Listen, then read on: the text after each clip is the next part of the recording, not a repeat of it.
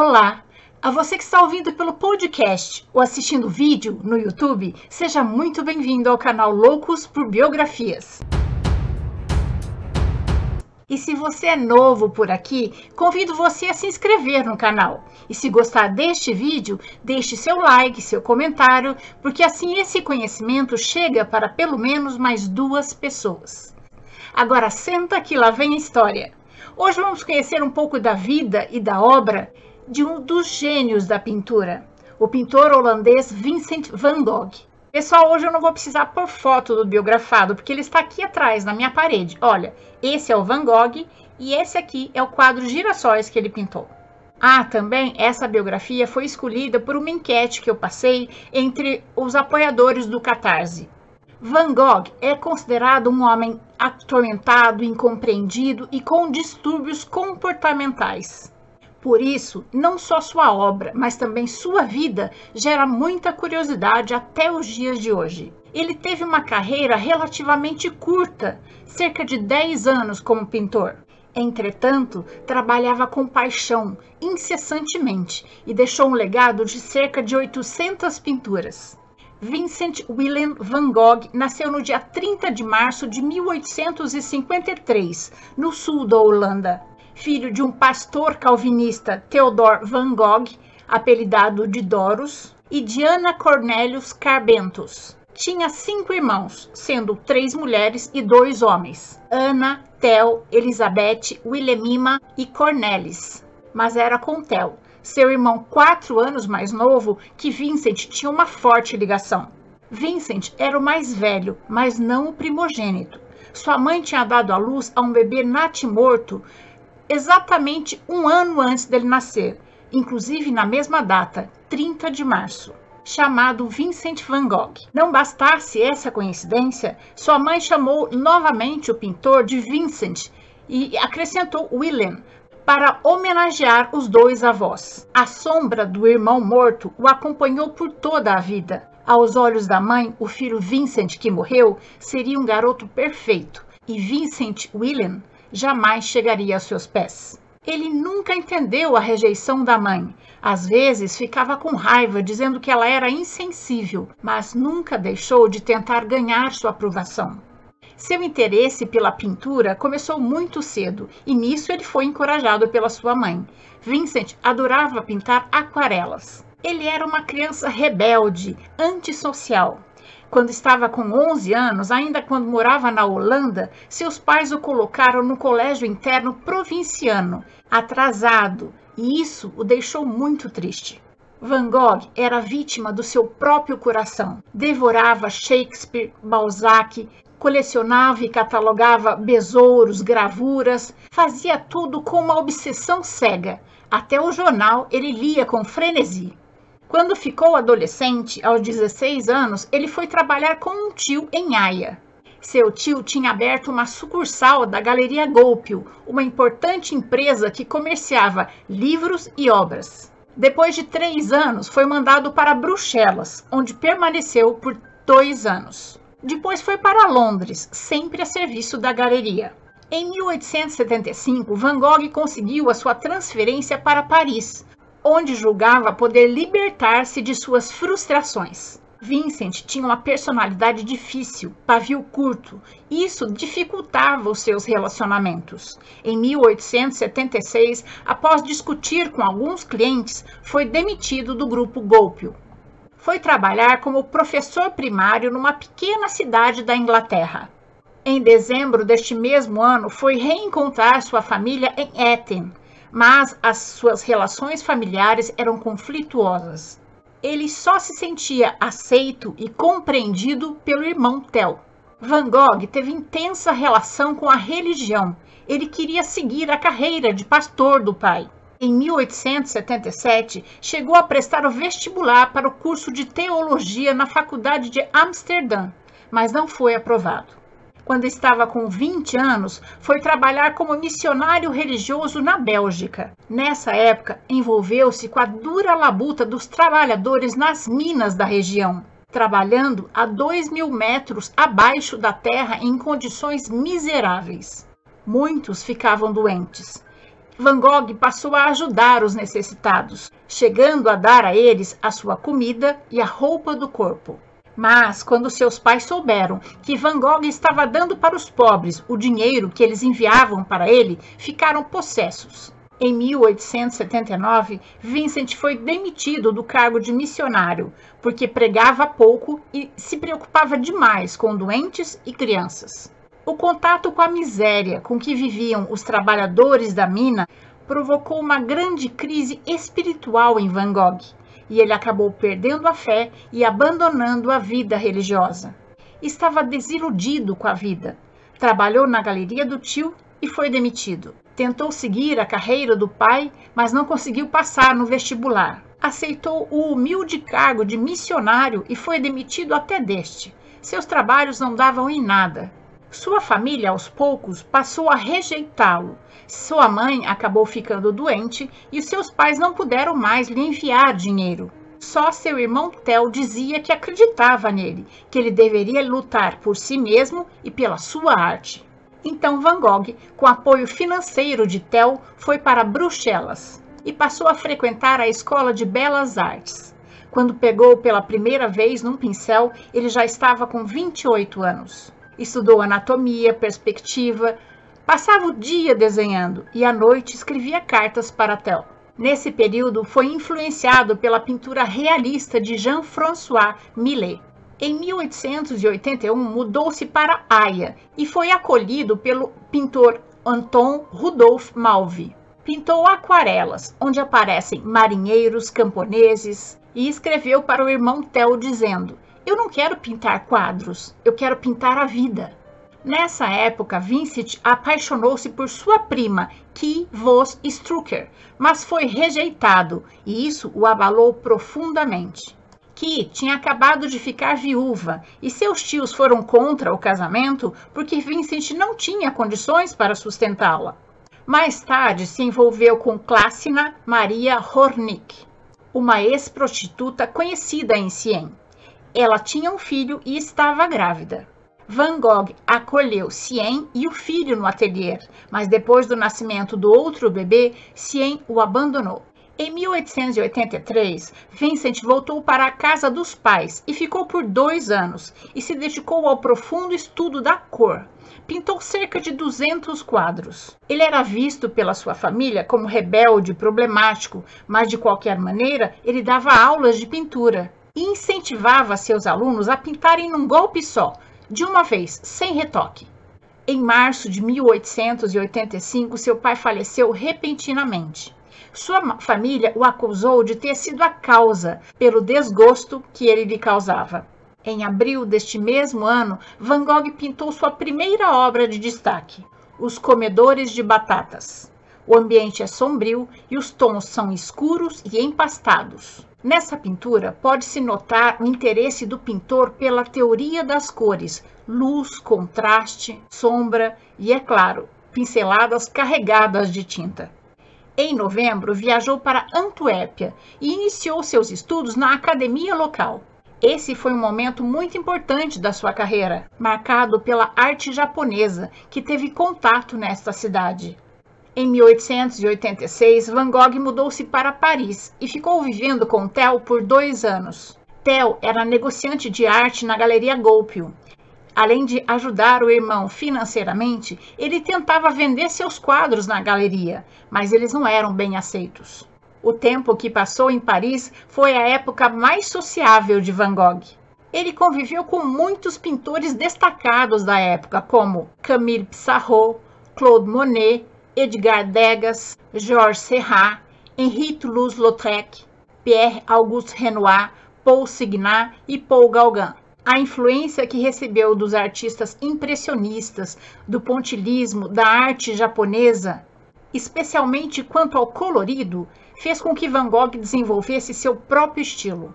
Ele passou a usar cores primárias e secundárias, e suas obras passaram a ter luminosidade e leveza. Sua técnica de pinceladas firmes, carregadas, aplicadas sem hesitação, permitiu-lhe produzir um vasto número de obras. Em dois anos, Van Gogh pintou 200 quadros, entre eles o Autorretrato de 1887 e o retrato de Perry Tongi. Theo e Vincent ficaram amigos de Paul Gauguin. Em 1888, Gauguin fez um retrato de Van Gogh, o pintor de girassóis. Vincent estava com a saúde precária, aceitou o conselho de Toulouse-Lautrec e foi para o campo. Em fevereiro já estava em Arles, pintando ao ar livre, hábito que conservou até a morte. Trabalhava como se estivesse cumprindo o horário, das 8 às 5, e à noite escrevia para o irmão. As obras mais impressionantes de Van Gogh são dessa época em que ele viveu em Arles. Foram mais de 100 quadros, entre eles Vista de Arles com lírio, O Quarto do Artista e Girassóis, flor que ele adorava. Pouco depois, Vincent juntou-se ao amigo Paul Gauguin. Ele estava todo animado de fazer a sua Casa Amarela, em Arles, uma comunidade para pintores, e Gauguin seria o mestre mas o temperamento dos dois era muito diferente. A convivência deles foi um desastre. Eles discutiam com frequência. Essa época foi retratada por Van Gogh nos quadros A Cadeira de Gauguin e A Cadeira de Van Gogh com Cachimbo. Nessas obras já dá para ter uma noção da diferença de personalidade deles. A cadeira de Van Gogh era mais simples e a de Gauguin mais sofisticada. Apesar da diferença de personalidade, foram dois meses de trabalho intenso para os artistas, até que surgiu uma discussão mais grave. Há relatos de que a amante de Van Gogh, Gabi, teria se envolvido com Gauguin. Quando Van Gogh soube, ele ficou louco, xingou Gauguin e partiu para cima dele com uma navalha. Gauguin, assustado, fez as malas e voltou para Paris. Van Gogh, num acesso de agressividade, cortou a própria orelha, colocou numa caixinha e deu de presente para a mulher que tinha motivado a briga. Van Gogh era leitor assíduo de Émile Zola. Num dos livros de Zola, um personagem, para se autoflagelar, corta a própria orelha. Acredita-se que foi assim que Van Gogh teve essa ideia. De qualquer forma, depois que ele foi socorrido, ele voltou para sua casa e pintou o autorretrato com a orelha cortada. Os autorretratos tiveram muito destaque no legado do pintor. São mais de 40 pinturas. A maioria o apresenta com o olhar expressivo. Após cortar a orelha, suas crises começaram a se intensificar. Em maio de 1889, ele mesmo pediu ao irmão que o internasse no hospital Saint-Remy de Provence, onde permaneceu por um ano. Van Gogh transformou seu quarto em um ateliê e, inspirado pela paisagem local, chegou a pintar um quadro por dia. Seus traços evoluíram de pequenas pinceladas para pinceladas espirais e curvas, como no quadro A Noite Estrelada. Theo não pôde visitar o irmão porque sua, sua esposa Jo estava para ter o primeiro filho do casal e pediu ao amigo Paul Signar que fosse visitá-lo. Signar saiu do hospital impressionado com a pintura de Van Gogh e foi à casa de Theo e levou alguns amigos para ver os quadros do artista. O jornal Mercúrio de France fez um elogio ao pintor e foi organizada uma exposição na Galeria de Bruxelas, mas foi vendido apenas um quadro de Van Gogh. A Vinha Vermelha, o único quadro que ele vendeu em vida. As internações em hospitais e manicômios desqualificaram a obra de Van Gogh como sendo a obra de um louco. Um crítico chegou a declarar que as formas distorcidas e as cores berrantes eram produtos de uma mente doentia. O próprio Theo passou anos tentando em vão domar o excesso do pincel do irmão.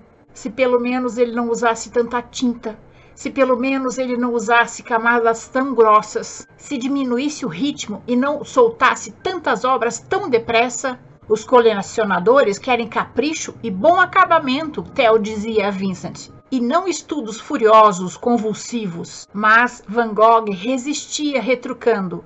Quero pintar o que eu sinto e sentir o que eu estou pintando. O que minha arte é, eu sou também. Ele chamava seus quadros de pintura cheio de pintura. Theo resistia às acusações de loucura do irmão. Vincent era apenas um ser excepcional, um Quixote, um sublime excêntrico talvez, mas não louco. Van Gogh deixou o hospital de Saint Remy em 1890. Quando saiu do hospital, Vincent foi para Paris visitar Theo e conhecer o novo sobrinho, Vincent. Passou três dias em Paris e encontrou os amigos Toulouse-Lautrec, Pissarro e Tanguy. Depois instalou-se em Auvers, perto de Paris e, consequentemente, perto do irmão Theo. Apesar do seu temperamento muitas vezes melancólico, intempestivo, Van Gogh pintava em momentos de clareza mental e não durante os surtos. Nunca se soube ao certo a doença que ele tinha, mas cogita-se entre transtorno bipolar e epilepsia. Em Auvers, Van Gogh pintava regularmente e estava em plena atividade criativa. Pintou mais de 200 desenhos e 40 quadros, entre eles Campo de Centeio com Corvos e a Igreja de Auvers. Encorajado por Camille Pissarro, começou a frequentar as consultas com o Dr. Paul Gachet. Dr. Gachet era um artista frustrado. Seu pai não permitiu que ele estudasse arte e exigiu que ele fizesse medicina. Gachet via em Van Gogh mais do que um paciente. Ele via nele o gênio artístico e passava horas tentando copiar seus quadros. Vincent não se alimentava bem e consumia bebida alcoólica com frequência. Era um grande apreciador de absinto, bebida muito popular entre os artistas parisienses. No dia 27 de julho de 1890, Van Gogh saiu para pintar ao ar livre e levou seu cavalete. Voltou para casa com um tiro no abdômen. Ele disse para as pessoas que o socorreram que aquilo é, tinha sido culpa dele, não era para culpar ninguém. Dr. Gachet foi chamado, mas não conseguiu tirar a bala alojada no abdômen de Van Gogh. Existiu uma breve investigação, mas como nem o cavalete nem a arma foram encontrados e Van Gogh não acusou ninguém, ficou como se ele tivesse tentado se suicidar. Vincent faleceu dois dias depois seu irmão Theo foi chamado e chegou a tempo de passar as últimas 24 horas com o irmão. Eles se negaram a falar sobre a morte que se aproximava. Aproveitaram os últimos momentos juntos, lembrando de coisas boas. Vincent van Gogh faleceu nos braços de Theo, em Auvers, França, no dia 29 de julho de 1890. Ele tinha só 37 anos de idade. Suas últimas palavras foram: vai ser melhor para todos. Depois da morte do irmão, Theo caiu em profunda depressão. Ele se sentia culpado pela morte de Vincent e passou meses colhendo informações das pessoas que estavam convivendo com ele nos últimos tempos. Acabou deixando de cuidar da sífilis, que estava em estado avançado. A doença progrediu e Theo também acabou falecendo seis meses depois. Jo, a viúva de Theo, enterrou seu marido ao lado do irmão, Vincent van Gogh. Grande parte da história de Van Gogh está descrita nas 750 cartas que ele escreveu para o irmão durante toda a vida e que deixa claro a forte ligação que existia entre eles. Depois da morte de ambos, Jo, a viúva de Theo, tornou essas cartas públicas, que estão relacionados em um livro chamado Cartas a Theo. Uma das hipóteses para o tiro que culminou na morte de Van Gogh é como era muito caro pagar modelos, até por isso Van Gogh e outros artistas faziam autorretrato. Mas enfim, Van Gogh, para ter modelos baratos, convivia com pessoas estranhas, como andarilhos, trombadinhas, e uma dessas pessoas pode ter atirado nele e ele tenha tentado proteger essa pessoa. A hipótese do suicídio é a mais difícil de acreditar, porque uma pessoa que quer se suicidar não atira no próprio abdômen para ficar sofrendo, dá um tiro na cabeça, na boca, para acabar logo com o sofrimento. E se ele realmente tivesse atirado no próprio abdômen, a bala teria perfurado um de seus órgãos, e isso não aconteceu. Enfim, a morte de Van Gogh ainda é um mistério. Embora seu reconhecimento tenha vindo tarde demais para ele, Van Gogh é considerado um gênio da pintura e declarado póstumamente o pai da pintura moderna.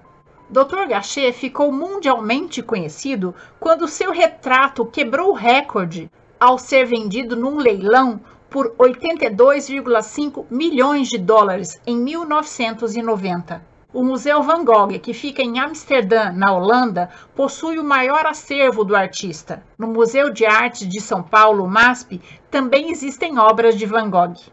Ah, entre as pinturas mais conhecidas que eu deixei de falar estão Caveira com cigarro aceso, A Ponte debaixo da água, Natureza morta com absinto e A Italiana. Van Gogh é tido como o maior expoente do pós-impressionismo. Alguns apontam em suas obras os primeiros sinais do expressionismo. Termino essa biografia com uma frase de Van Gogh: Quero comover as pessoas com a minha arte. Quero que elas digam: ele sente profundamente, ele sente eternamente. E essa é a nossa história de hoje. Mas antes de terminar, eu quero muito agradecer aos apoiadores do canal. Eu espero ter contribuído para que seu dia seja bom. Se você gostou, deixe seu joinha, faça seu comentário, compartilhe esse conhecimento com seus amigos, conheça as outras histórias do canal. O canal Loucos por Biografias traz novas biografias toda semana no Spotify, no YouTube e no Instagram.